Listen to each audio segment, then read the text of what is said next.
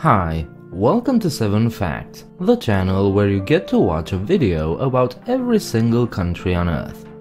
In today's video we're going to explore the bailiwick of Jersey, a crown dependency.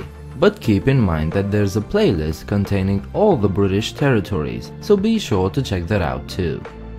Also, please remember to subscribe if you wish to see the two new videos I upload every Wednesday and Saturday. Jersey is one of the Channel Islands, in the English Channel, just off the coast of Normandy. Together with Guernsey, they are considered to be the remnants of the Duchy of Normandy, whose dukes went on to become the kings of England. Jersey is not part of the United Kingdom, instead it's a crown dependency.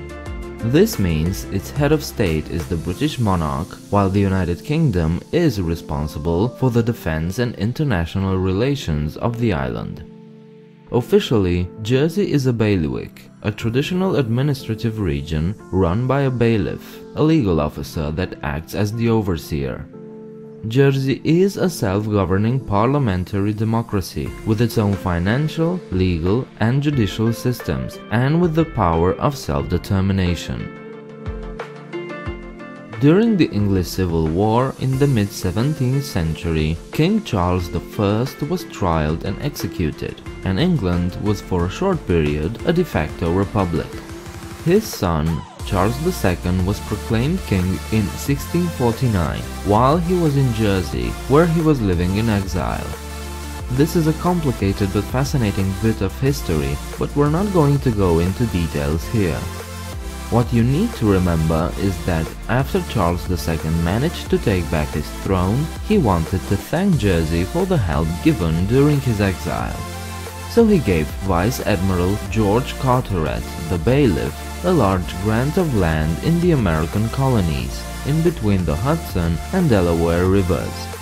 He promptly named the land New Jersey, which later went on to become the modern state within the American Union. During World War II, Jersey was occupied by German forces. Jersey, together with the rest of the Channel Islands, were the only part of the British Isles that were occupied by the Wehrmacht. The islands were one of the last places in Europe to be liberated, having been under German occupation for nearly five years. During this time, many fortifications were built using Soviet slave labor. However, they didn't help after D-Day in 1944, when supplies from mainland France were interrupted and food became scarce. By the time the islands were liberated, both the occupiers and the occupied were facing near starvation. May the 9th is celebrated to this day as Liberation Day and it's the national holiday of both Jersey and Guernsey. Even though it's a crown dependency, Jersey is a self-governing country, so naturally it has its own capital city. With a population of 33,000 people, St. Helier is the one to own this title. The city is thought to have been settled by the Romans during the time they occupied Gaul. Initially, St. Helier was a very small fisherman village, which was all but depopulated due to repeated attacks from pirates. Helier, a 6th century Christian hermit, came to the island as a spiritual guide. But he also helped save lives, as he was able to see the sails of approaching attackers from his vantage point on a tidal islet. When he saw them, he would signal ashore, and the locals would hide. This frustrated the attackers who eventually caught and beheaded him with an axe. Since then, the settlement was known as St. Helier. Nowadays the city is much larger thanks in part to large land reclamations, meaning that many of today's streets used to be occupied by sand dunes and the sea. Jersey is not a big island. It measures just over 14 kilometers in length and 8 kilometers in width. However, the area of the island varies, and that's because Jersey boasts some of the biggest tides in the world when it recedes, the immense body of water surrounding the island seems to disappear into the horizon, only to surge back to shore with alarming speed, making Jersey shrink by a fifth.